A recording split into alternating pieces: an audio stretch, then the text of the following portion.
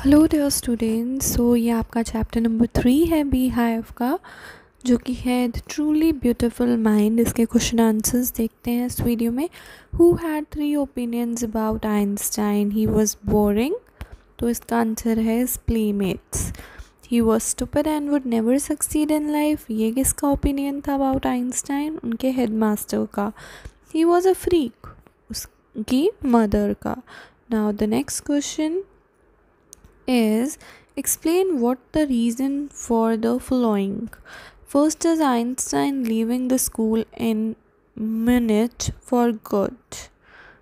First question का answer होगा Einstein hated the school regimentation he often clashed with his teachers उनको school का discipline अनुशासन regimentation पसंद नहीं था वो बहुत बार उनका क्लैश हो जाता था with his teachers all the age of fifteen he so at the age of 15 he so suffocated there that he left the school for good.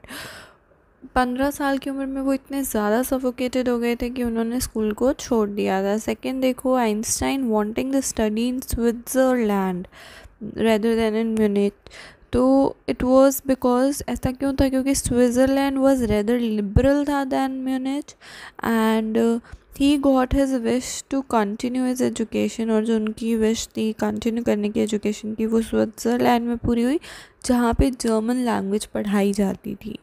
Now the next one is Einstein seeing in Mileva and एले so Einstein felt special interest उनको लगा in a fellow student a founder to a clear creature and he was his she was his fellow and intelligent with he like albert. Now the last one. What do the uh, these all you about einstein? So einstein did not find the relevant atmosphere in his life. unko nahi mila relevant atmosphere unki life mein he faced many ups and downs in his life. And these points also explain about albert's personal life. As well as his unsettled married life के बारे में भी बताते हैं। So now the next question is what did Einstein call his desk drawer at the patent office white so Einstein call the desk in the patent bureau of theoretical physics उन्होंने कहा।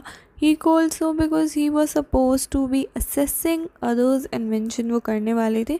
He developed his own ideas and invention secret में ही वो develop करते थे। And why did Einstein write a letter to Franklin Roosevelt को क्यों उन्होंने लेटर लिखा? Because Einstein fair to Nazis that they could build and use an atomic bomb वो बिल्ड कर सकते हैं और यूज़ कर सकते हैं एटमिक बॉम्ब को. In his letter return to Franklin, he warned that उन्होंने वार्निंग दी that a single bomb of this type is exploded in the port में भी एक्सप्लोड हुआ है and might very well destroy the whole port को destroy कर देगा together with some of the surrounding territory ठीक है उन्होंने warning the. And after that America start developing atomic bomb और फिर उसके बाद में अमेरिका ने भी एटमिक बॉम्ब बनाना शुरू कर दिया। So now the next is how did Einstein react to the bombing of Hiroshima and Nagasaki तो Einstein was deeply shaken by the destruction caused by atom bomb से जो डिस्ट्रक्शन हुआ था वो बहुत ज़्यादा शेक हो गए थे शॉक्ड हो गए थे। He reacted to the bombing of Hiroshima and Nagasaki in Japan he gave a proposal उन्होंने प्रपोज़ल भी दिया to form a world government बनाई जाए यू यूनाइटेड स्टेट नेशंस में। He also agitated for an end to the arms buildup arms हथियार भी buildup किए जाए।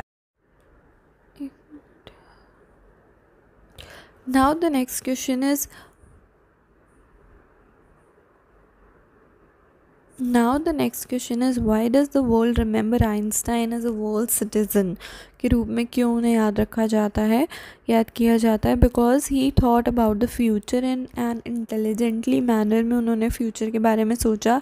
He agitated for an end up to atom buildup he used this popularity to campaign for peace and democracy that is why he was remembered as a visionary and world citizen के रूप में उन्हें जाना जाता है।